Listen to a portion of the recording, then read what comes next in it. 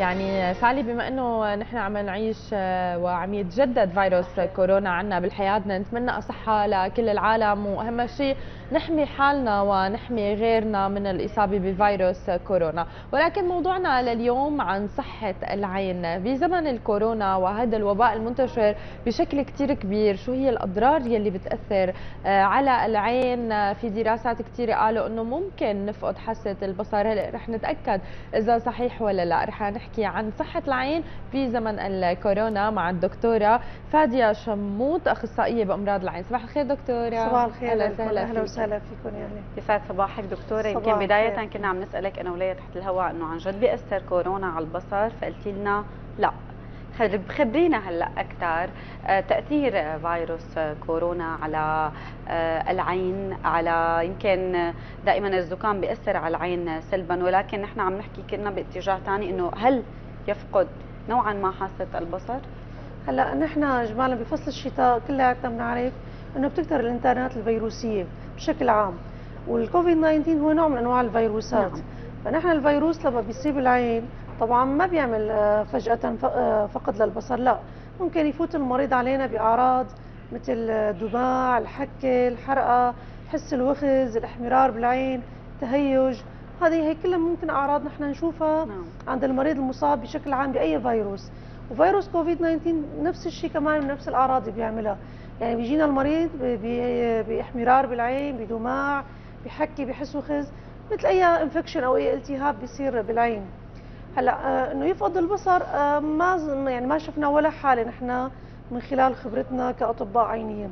ممكن إحنا إذا المريض فقد البصر بيكون لسبب هو حدوث خثره أو جلطة بأحد الشرايين المغذية للعين. نعم. لأنه نحن بنعرف كوفيد 19 أكثر العوامل اللي عم تؤدي بسببه للوفاة هو وجود الخثرات.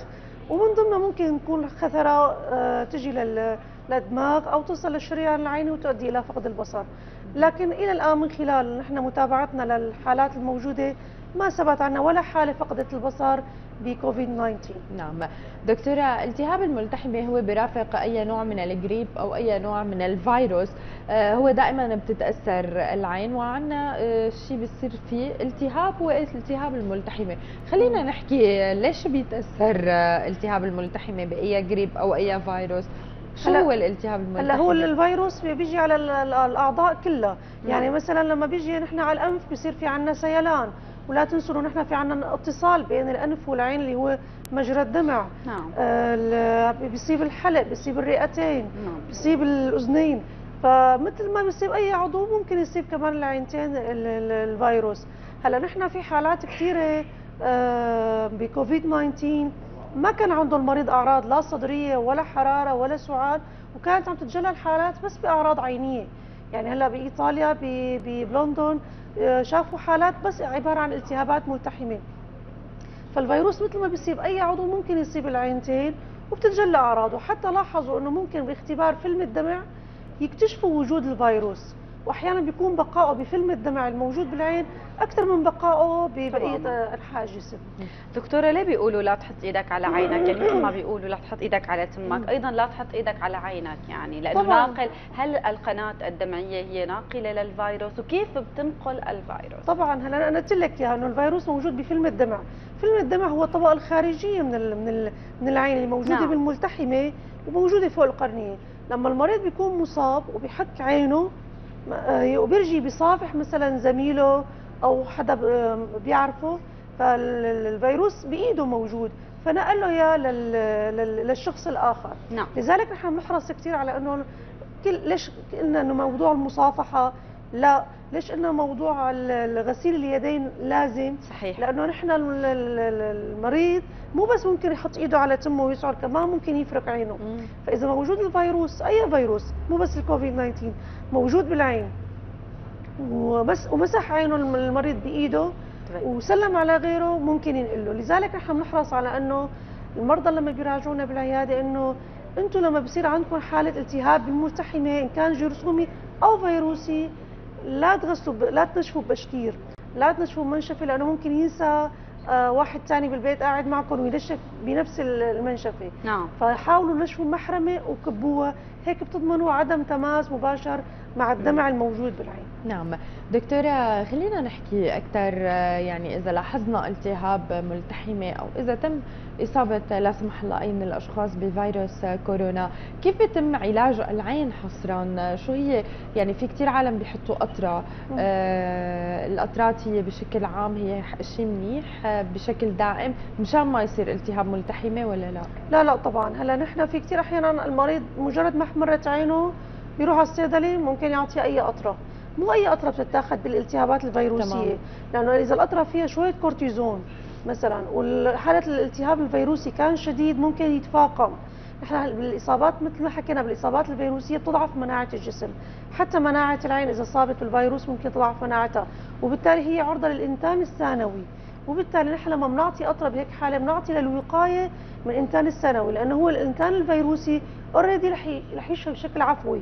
يعني نحن بنقول للمريض أنت بعلاج بتطيب بأسبوع وبلا علاج بتطيب بجمعة.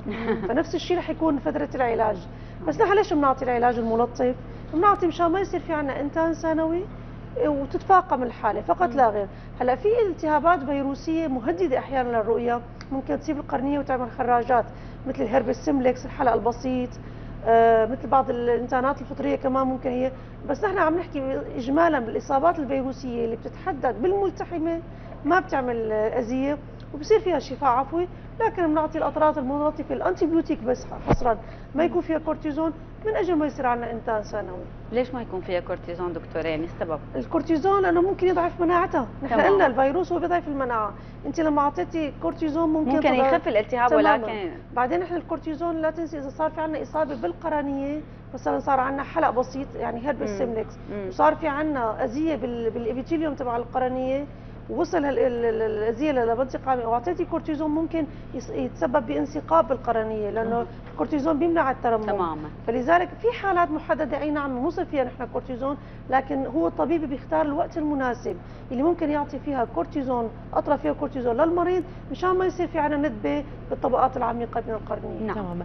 دكتورة كثير بنلاحظ عالم بي يعني بفترة محددة بيحمروا العيون بيلتهبوا العيون هو بس مجرد حساسية موسمية بتكون أو هي هيك حساسية آه، مثل مثل أي حساسية يعني بنصادفها كان بكل جسمنا يعني.